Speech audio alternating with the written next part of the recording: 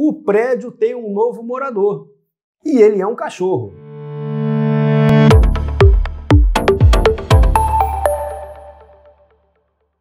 Pessoal, esse é mais um vídeo da série Homo Apartamentos, uma série da Brain que disseca essa espécie que vive em apartamento. E ela traz agora a informação sobre outra espécie que também vive no apartamento, esse novo morador, que são os pets. De acordo com o Instituto Pet Brasil, nós já temos em nosso país mais de 55 milhões de cães e mais de 24 milhões de gatos, né? convivendo cotidianamente com as famílias brasileiras. Quase metade das famílias brasileiras possui um pet. Ou seja, quando falarmos agora em apartamento, não podemos mais falar apenas em pessoas, mas sim também nesses queridos pets que todos nós temos e apreciamos.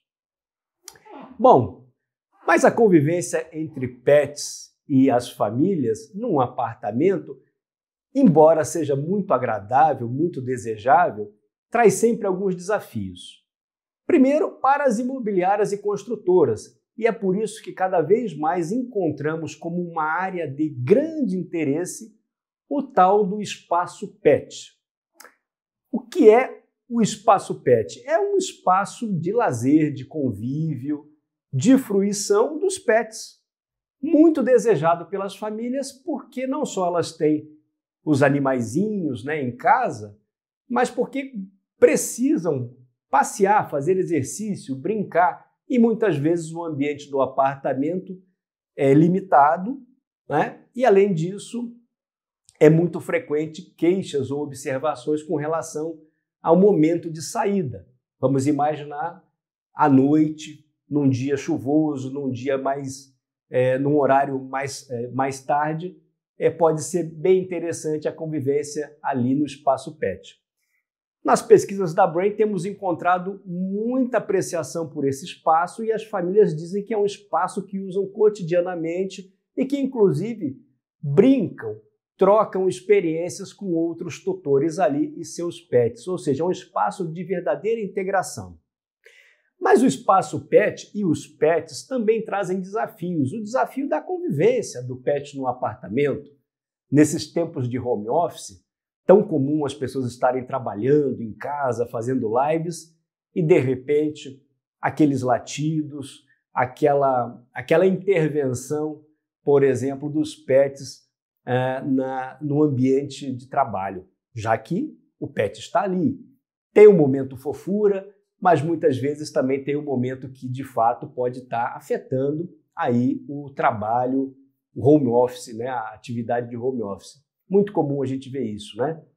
Então, isso significa que cada vez mais as construtoras, as incorporadoras vão ter que pensar nessa convivência, seja ali na colocação do espaço PET, seja ali na ambientação de um espaço de home office ou de coworking, porque os pets eles são, na verdade, o nosso vizinho, o nosso novo morador, que já está aí, como eu disse, mais da metade dos lares brasileiros de todas as rendas possuem um pet. Isso significa dizer que não podemos mais pensar num apartamento como sendo apenas um local de convivência de famílias, mas também desse outro membro da família que é o pet, já que para grande parte dos seus é, da, dos seus tutores, o pet é um membro, é um associado daquela família. Mas é por isso que também muitas áreas, até dentro do apartamento, vão sendo áreas dominadas pelo pet. O exemplo é a própria varanda, que muitas vezes fica um cantinho do pet, acaba virando ali uma região mesmo, né, de convivência daquele pet, e também a ampla preferência, o amplo desejo que nós encontramos pelos apartamentos garden, né, que permitem uma circulação, uma vivência também ali do PET. E não é novidade nenhuma que no próprio condomínio horizontal, já dentro do ambiente de casas e lotes, né, loteamentos, o PET é onipresente. A novidade agora é que cada vez mais ele também está onipresente nos edifícios aí do Homo Apartamentos. Então, pessoal, a nossa recomendação baseada em pesquisa é projetem o imóvel não apenas pensando nas famílias, mas também pensando numa verdadeira integração desse pet que passa a conviver e passa a ter também uma circulação diária, seja nos ambientes comuns do empreendimento, seja nesse espaço que é um espaço propriamente indicado, o famoso espaço pet. Que reparem, é uma área que custa pouco, pouco em termos de obra, de construção, mas agrega muito na percepção das famílias. Por isso, pessoal, o Homo Apartamentos não é uma espécie que vive sozinha, mas vive com o seu pet. Preste atenção nessa tendência, porque mais que uma tendência, já é uma realidade concreta e que está aí colocando novos desafios ao Homo Apartamentos. Espero que tenham gostado do vídeo. Continue assistindo essa série, sempre trazendo indicações e dicas importantes sobre os hábitos e comportamentos dessa espécie, o Homo Apartamentos.